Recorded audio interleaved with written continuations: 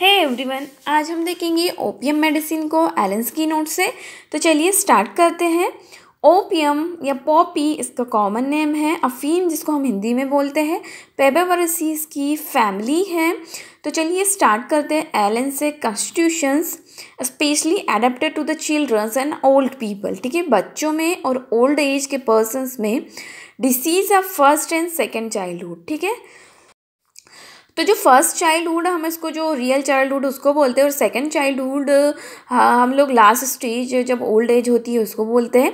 तो बेराइटा काप और मिलीफोलियम भी फ़र्स्ट एंड सेकंड चाइल्डहुड की रेमेडीज़ हैं। Person with the light hair lax muscle और वॉन्ट ऑफ़ बॉडीली इरिटेबिलिटी ठीक है? तो पूरी बॉडी कैसी है? लैक्स हो गई है रिलैक्स हो गई है और पर्सन के लाइट हेयर्स है और बॉडी में अभी कोई रिस्पॉन्स नहीं मिल रहा है, ठीक है? बॉडी इतनी ज़्यादा लैक्स है तो वॉन्ट ऑफ़ बॉडी इरिटेबिलिटी ठीक है? बॉडी को एक्साइट करने के लिए कुछ इरिटेशंस चाहिए, कुछ स्ट्यूमुलस चाहिए that's why want of bodily irritability अब हम ओपीएम के देखेंगे मेंटल्स जिन मेंटल जनरल्स में डिलीरियम के बारे में। तो जो ओपीएम का डिलीरियम होता है कॉन्स्टेंटली टॉक हमेशा बात करता रहेगा। आई कैसी रहेगी? वाइड ओपन है, ठीक है? ये इसका की नोट है वाइड ओपन रहती है फेस रेड रहता है और पफ्ड फेस मिलेगा। अनकॉन्शियस भी हो सकता है, आई ग्लासी कलर की होगी और हाफ़ क्लोज रहती है डिलीरियम के स्टेट में। फेस पेल होगा या फिर रेड होगा। अगर पेल होगा तो deep coma preceded by stupor होगा उसमें। Thinking she is not at home this is continuously in her mind ठीक है उसको ऐसा लगता है कि वो घर पे नहीं है। ऐसा बार बार माइंड में एक ही थॉट चलता है कि वो घर पे नहीं है डिलीरियम के स्टेट में। ब्रायोनिया में भी होम uh, सिकनेस देखने को मिलती है। Picking up bed clothes during sleep sleep के टाइम पे जितने भी क्लोथ्स है बेडशीट है ब्लैड क्लोथ्स हैं उनको पकड़ेगा। वेल अवेकिन उठने के बाद बेड क्लोथ अगर कोई पकड़ता है तो बेला और हायोसाइमस रेमेडीज़ हैं।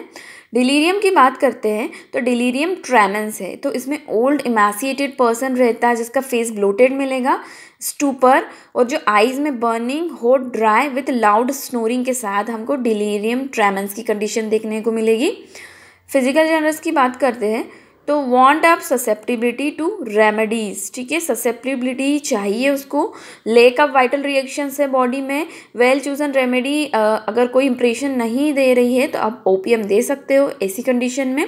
कार्बोवेज लॉरियल और वेलेरियाना भी एक रेमेडीज़ है वांट ऑफ़ बॉडीली ससेप्टिबिलिटी के लिए। ऑल कंप्लेन्स जितनी भी कंप्लेन होती है सोपर के साथ रहेगी। सोपर मतलब ऐसी डल ड्राउजी वाली कंडीशन पेनलेस सारी कंप्लेन पेनलेस होगी।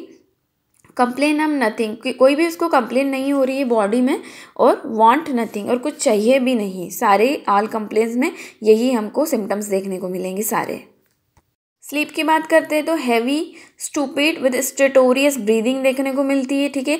सिसक सिसक के साँसें लेता है वो। Red face eyes half closed मिलेगी नींद में। ब्लड शॉट ठीक है? ऐसे ऐसे रेड फेस रहेगा उसका। स्किन कवर्ड रहेगी हॉट स्वेट से और आफ्टर कन्वर्जन कन्वर्जन के बाद भी उसको हॉट स्वेट आएगा, स्किन पूरी कवर्ड रहेगी हॉट स्वेट से। स्लीपी रहेगा, बट लेकिन सो नहीं पाएगा, ठीक है? स्लीपलेसनेस है उसको एक्यूटनेस ऑफ़ हियरिंग जब भी नींद नहीं आ रही है तो एक्यूटनेस ऑफ़ हियरिंग रहती है। क्लोक अगर स्ट्राइक कर रही है, कहीं पे घड़ी चल रही है तो वो भी उसको बहुत दूर से सुनाई दे देगा। Cocks crowing at the great distance distance की फर वेक एलिमेंट हमको देखने को मिलेगा कि इन इनसेंसिबिलिटी एंड पार्शियल और कंप्लीट पैरालिसिस हो गया है ओरिजिन हुआ है फ्राइट के कारण। तो इसमें एक एलिमेंट है फ्राइट फ्राइट के कारण अगर कोई भी कंप्लेंट्स आ रही है तो आप लोग ओपीएम को सोच सकते हो। ठीक है, अब देखते हैं हम लोग कि bad effect of fear still remain ठीक है? उसको फियर तो अभी तक ही है फॉर्म चारकोल वेपर का एब्यूज़ हुआ है या फिर बैड इफ़ेक्ट्स हुए हैं, अगर कोई गैसेज इनहेल कर ली है या फिर ड्रंक कार्ड है, ये सारे एलिमेंट्स हैं। अगर कॉज में आपको इनमें से कुछ भी मिलता है तो आप ओपीएम को सोच सकते हो। मरासमस की अगर बात करते हैं तो जो चाइल्ड होगा, उसको स्किन जो व्रिंकल्ड रहेगी looks like a little drink so little dried up old में, ठीक है? तो जो मरासमस है, पूरी बॉडी कैसी हो गई? एकदम सूखी हो गई है, बच्चे की और स्किन भी एकदम व्रिंकल्ड हो गई है डल हो गई है, पूरा पानी चला गया है, इस टाइप की ड्राई स्किन मिलेगी हमको। Looks like a little dried of old man जो ओल्ड मैन है, वो एकदम सूखा है। बच्चे का कॉन्स्टिट्यूशन इस टाइप का हो जाता है। एब्रोटेना में भी हमको लोअर एक्सट्रीमिटीज़ में मैरासमस देखने को मिलता है। अब जीआईटी की बात करते हैं तो जितने भी डाइजेस्टिव ऑर्गन्स है, वो सारे इनएक्टिव हो गए। पैरास्टेटिक मोशंस क्या है, वो रिवर्स पैरास्टेलिस हो रहा है। ठीक है अपर पैरास्ट्रेलिस मोशंस होने लग गए, या फिर पैरालाइज्ड हो गए जी जीआईटी बोवेल्स कैसी हो गई क्लोज्ड हो गई। कॉन्स्टिपेशन की बात करते हैं तो बच्चों में हमको कॉन्स्टिपेशन देखने को मिलता है कॉर्पुलेंट गुड नेचर वुमेंस जो है, उनमें इन एक्शन और पैरासिस हो गया है जीआईटी का कोई भी डिज़ायर नहीं है स्टूल के लिए। फॉर्म लेड पॉइजनिंग के कारण stool hard round black balls में देखने को मिलता है। चिलीडोनियम पम्बम और थुजा में भी हमको ब्लैक बोल्स में स्टूल देखने को मिलता है।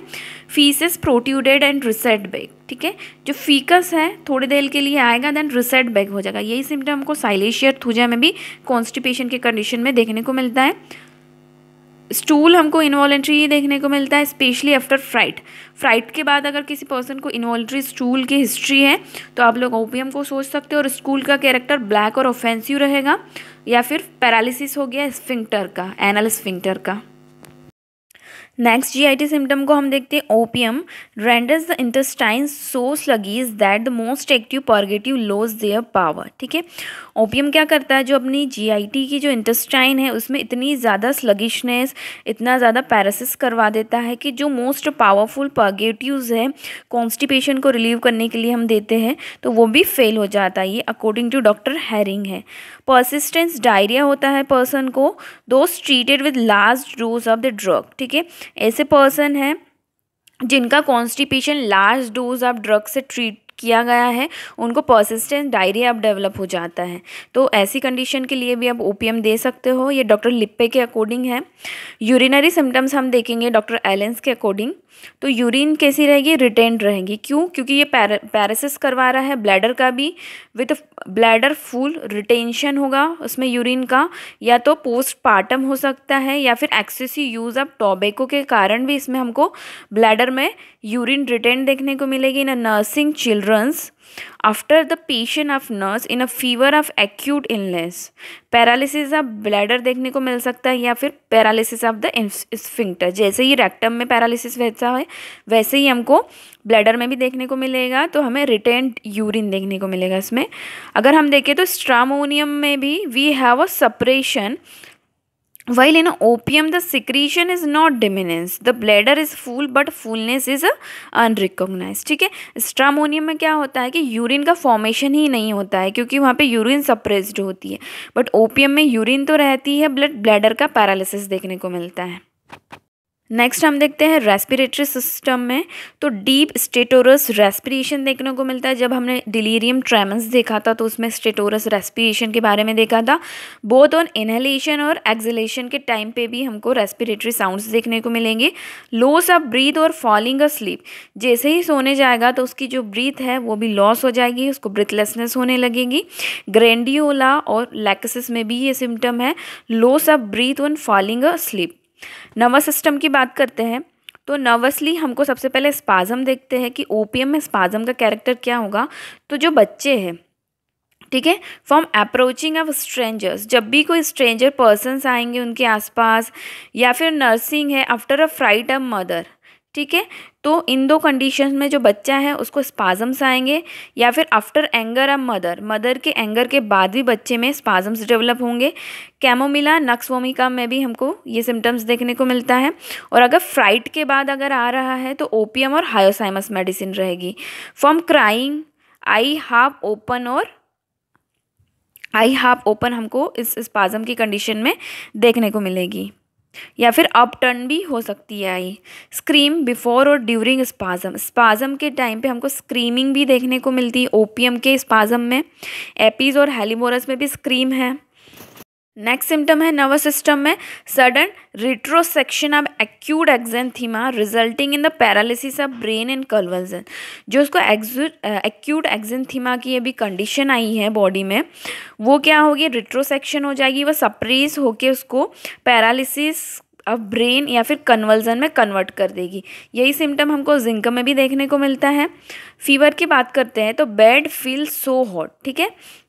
हमको ओपियम में जो बैड है, वो हॉट देखने को मिलता है और जो पर्सन उस पर सो नहीं पाता है। अगर हमको यही कंडीशन, अगर हार्ड बेड फील हो रहा है तो अर्निका, ब्रायोनिया और पायरोजिनम में जो बैड है, वो हार्ड फील होता है, इसलिए उसको दिक्कत होती है और ओपियम में हॉट बेड फील हो रहा है, इसलिए वो उस पर सो नहीं पाएगा। More often, in a search of cool places, इसलिए वो कूल प्लेसेस को सर्च करेगा और मस्ट बी अनकवर्ड, ठीक है? फीवर के टाइम में वो अनकवरिंग रहती है उसको, कवर करके नहीं रखता है। है मॉडलिटीज़ देखेंगे तो एग्रावेशन ड्यूरिंग स्लीप होता है और after sleep after sleep aggravation हमको एपिस और लैकेसिस में भी देखने को मिलता है। वाइल पास्पिराइन पास्पिरेशन के बाद एग्रावेशन होता है ओपियम में। वॉर्म से एग्रावेशन होता है और कोई भी स्ट्यूमुलेंट्स है, उनसे एग्रावेशन है। एमुलेशन है कोल्ड से और कांस्टेंट वॉकिंग से ओपियम में। जो कंप्लेंट्स रहती है, उसमें हमको एमुलेशन देखने को मिलता है।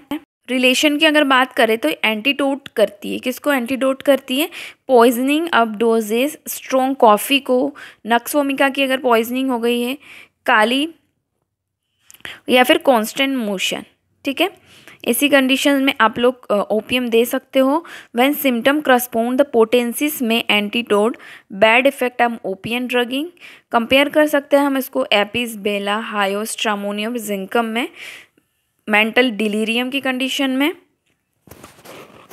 तो ये थी remedy opium form Allen's key note materia medica I hope आपके लिए लेक्चर हेल्पफुल रहा होगा।